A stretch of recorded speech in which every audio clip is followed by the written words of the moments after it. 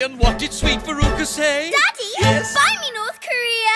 Oh, when Veruca says Buy! It's like a battle cry And when Veruca says Mine! Well, I've